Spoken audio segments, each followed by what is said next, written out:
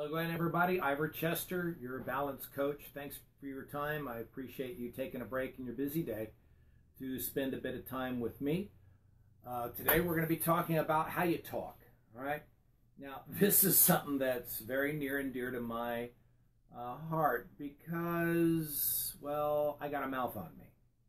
And so do a lot of people that have uh, had to manage certain diagnoses over their lives or just their upbringing. They may not have everything that they really uh, that they really should have uh, installed because again the diagnoses, their upbringing, their choices, just the things that have happened to them, and they lack the social handles to be able to reach out.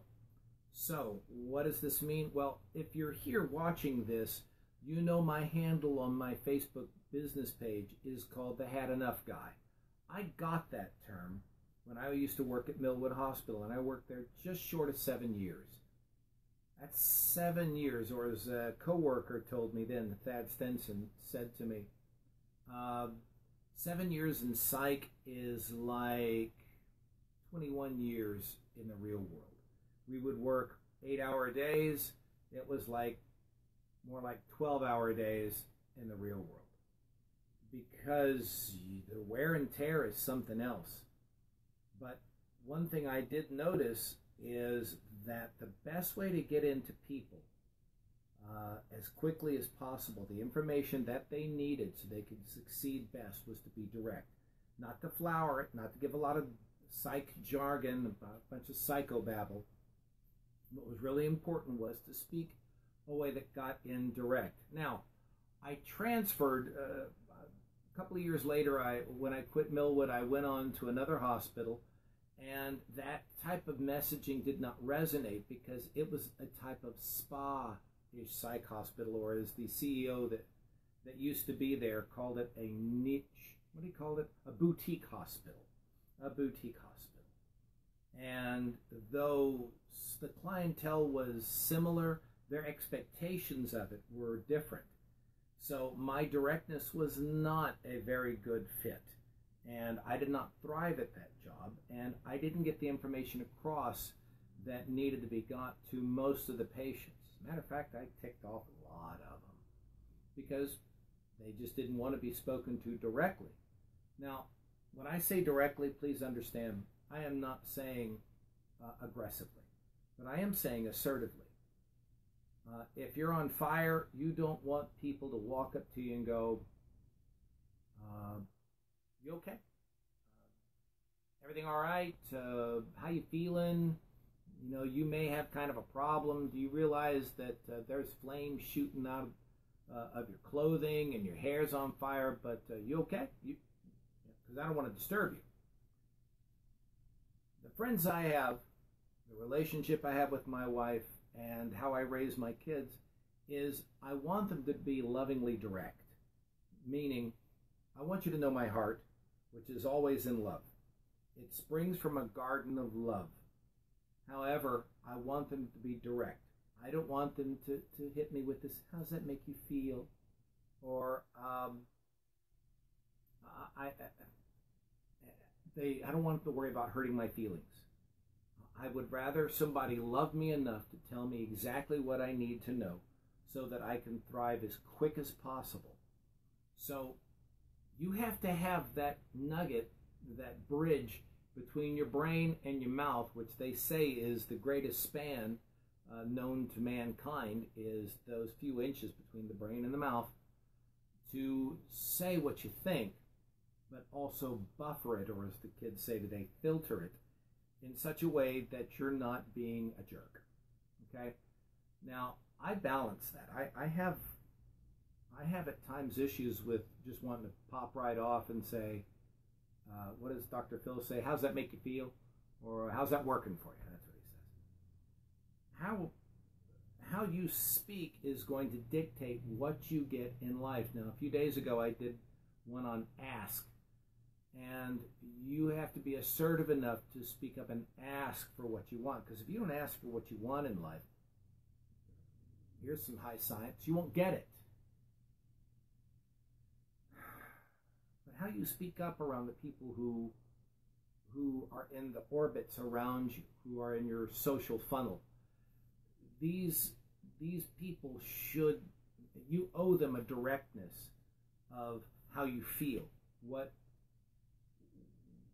what you're going through, how you feel about them. And that doesn't mean by you walking up and going, I hate the belt with the shoes. uh, it, it means, by the way, if I've never told you, I really appreciate you speaking up for me. Uh, or thank you for stopping me from doing that. Or I love you. Just some basics. Those kind of things are getting lost on social media.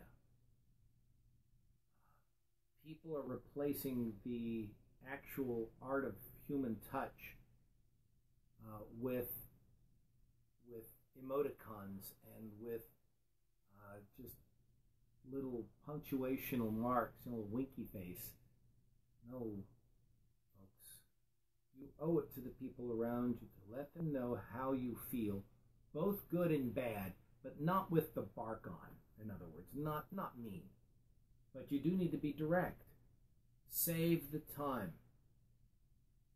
And what is this going to get you? Well, it's again a winnowing process to where the people who don't like that, who bristle at that, who who may be even uncomfortable with you being direct in a loving way, they will uh, they'll leave. They're not going to like you saying, "Hey, I love you," or don't do that around me or not around my kids or not in my house, uh, they may leave. And if they do, it's like sometimes it's like the trash taking itself out. But on the other hand, the people who stay, they're going to stick because they know exactly what to expect of you. And you've heard me say this before. And then you're surrounded by a cadre of friends that know and love you, and you know and love them, and they feel safe and secure. They don't have to worry about a bunch of uh, emotional landmines or hoops that they have to jump through or blow up in their face because you haven't spoken directly. Uh, these type of things are important, but always, always, always, you do it out of a heart of love. That way, people know what you're going to say may smart a little bit. Okay? It may sting. It may not be exactly what they want to hear, but if they know you're a loving soul, if they know that you come from a heart of caring, and they know that they are safe, then they're going to appreciate it in the long run. And the long run is something that is dearly lacking in the world today. We're an instant gratification society, and the worst for it. So we're going to have to start coming across uh, seeking more the long term. My action statement for you today is what I want you to look around how you can be a little more direct. Not a jerk, but start working on that balance. Use your please and thank yous. Be courteous, um, but reach out to people. Pat them on the back, touch them in a positive way, and say, hey, you know, I just thought I'd let you know, ever since the day I started this job, you have been so helpful to me. Or, you know, when I first started this job, you were very kind and uh, helped orientate me, and you've made a big difference. I'm very thankful. So please reach out to these people, or even if it's your spouse.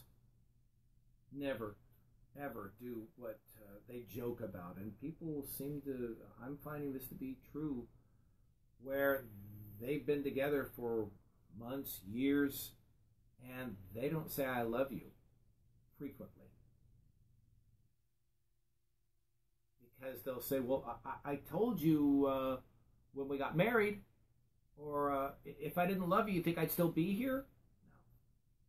No. Find out what their love language is and speak that. Look up the book by um, the Five Love Languages. Okay, I think that's Smalley, is it not, or is that Chapman? I'm probably wrong on both.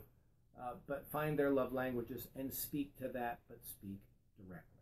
That way you can get it back because when you speak that language, they'll speak it back to you.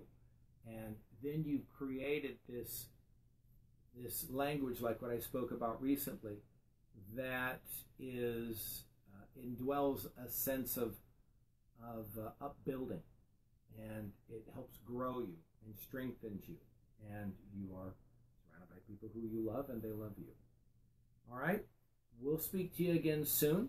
I'm uh, at Twitter and Instagram at Ivorchester3. Next Monday, we're going to be starting something different. I'm going to be making a separate post on this, but I'm going to go ahead and spill the beans of it right here. Next Monday, we're going to start a new Zoom. And if you don't know what Zoom is, look it up. It's just exactly what it is zoom.com. Download it on your phone or on your laptop. If you don't know what it is, look it up, as I said. And we're going to be doing Zoom where uh, I'll be doing bits like this, but I'll have people uh, in the Zoom. It's free. It's free. It's free.